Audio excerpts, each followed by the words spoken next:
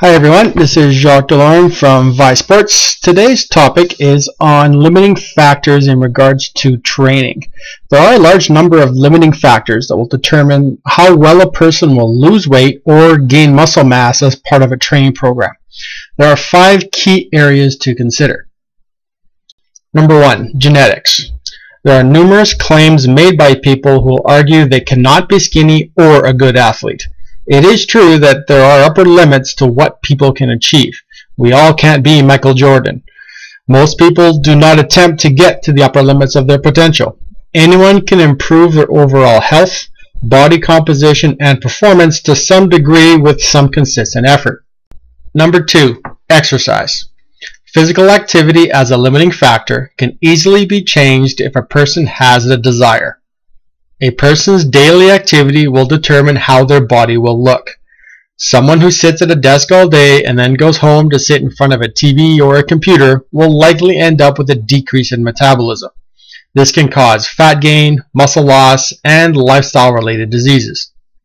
As a general rule, the number of steps a person takes in a given day can be used to determine their activity level, sedentary or active. A sedentary or low activity lifestyle would take less than 5,000 steps per day. Active lifestyles take 10,000 steps per day or more. If you add a few hours per week of high intensity exercise, real change in physical fitness and overall health is possible. Number three, physiology. There are times when results in overall health are difficult and it may require checking with a medical expert to determine if there are other causes. There may be underlying conditions like diabetes or a heart condition that will affect your overall performance. Number four, mindset. Mental attitude can make a huge difference. It can determine whether or not a person sticks to a nutrition and exercise plan or bails on it after a short period of time. Research has shown that a person is far more likely to succeed in their quest if they have a goal in mind. Number five, nutrition. Nutrition is the most important limiting factor.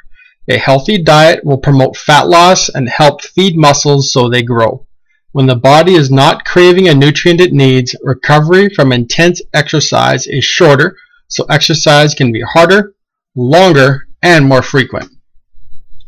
When it comes down to defining good nutrition, all good nutrition plans need to meet four important criteria. Number one, properly controls energy balance. Energy balance is the direct relationship between energy you take in, which is your food calories, and the energy you give out, which is the calories you burn by exercise.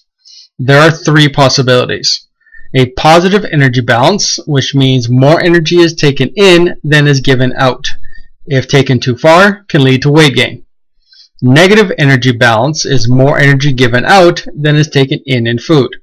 An intense negative balance can create an I'm starving response from the body, causing it to slow down or shut down any non-essential functions like reproduction, metabolism, or brain function, just simply so it can survive. The third one is a neutral energy balance. Energy in and energy out are the same, so you tend to maintain your weight. The next section is nutrient and calorie density. And what we're referring to here are the different foods. You'll see the two tables that are up on the screen. The first one is the nutrient density. That means there's a really, really high ratio of vitamins, minerals, and fiber in the food compared to the total calories of the food that you're eating. For example, the raw leafy green vegetables with a, rating of 100 is really, really high. So your vegetables has a very low calorie content, but very good nutrients.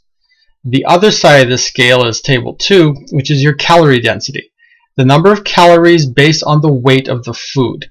So in the top case, you'll find that you've got your fresh veggies again, which has only 100 calories for a really large amount of weight. As you go down the list, you get into the meats, you get into the nuts, the oils, which have a lot of calories for a very small amount of mass. The best combination to promote better health and fat loss is to eat foods with a high nutrient density and a low calorie density.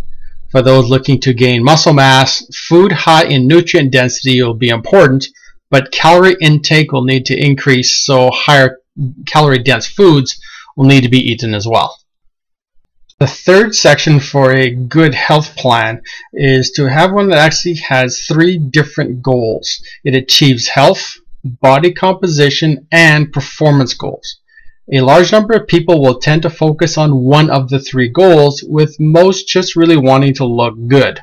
Results tend to come over time, but most think it happens really easily and will try the quick fix, like using drugs or aggressive programs. Unfortunately, they are not sustainable in the long term. Set realistic goals which involve how you look, how you feel, and how you perform to create a consistent nutrition plan that will work for years to come and not just for the short term. The final criteria is an honest and outcome-based type of plan. Without actually tracking what you eat, it is really difficult to determine whether or not your diet is really what it needs to be. People think they're eating healthy, but they feel sluggish all day, they have health issues like obesity, and they generally feel lousy. Eating habits don't match the outcome they expect. To understand where your diet's lacking, you need to take an honest look at what you eat every day and then change it. The outcome will indicate whether or not the change makes a real difference. Understanding all four areas we just looked at will really help you develop a better nutrition plan that will show real results over the time frame you're choosing, especially with a longer term time frame. If you want more details on some other areas of nutrition, other areas of exercise, motivation, by all means visit our website at www.visportsnutrition.ca.